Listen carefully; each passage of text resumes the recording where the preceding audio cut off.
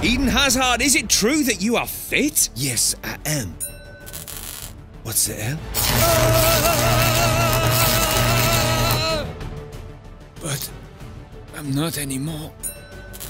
No.